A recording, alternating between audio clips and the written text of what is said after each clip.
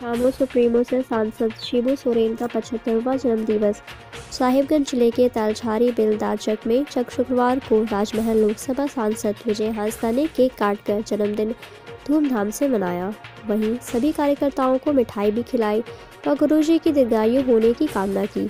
उन्होंने कहा कि गुरुजी झारखंड की मसीहा हैं। उनके त्याग, तपस्या व संघर्ष की देन है झारखंड। अपना सारा जीवन झारखंड वासियों के लिए न्यौछावर किया। उनके दिशा निर्देश पर झामुमो का कई राज्यों में जनाधार मज़बूत हुआ है। मौके पर दर्जनों कार्यकर्ता उपस्थित थे। ऐतिहासिक दिन कह सकते हैं कि हमारे जो अभिभावक हैं दिसोम गुरु जी पचहत्तरवा साल पूरा कर लिए, जिन्हें हम झारखंड के दाता कहते हैं, आज पूरा का पूरा झारखंड हर्षोल्लास में है और पूरे जेएमएम परिवार के साथ, पूरे झारखंड के तमाम लोगों के साथ हम लोग खुशी बांटने में लगे हुए हैं और सबको शुभकामना दे रहे हैं।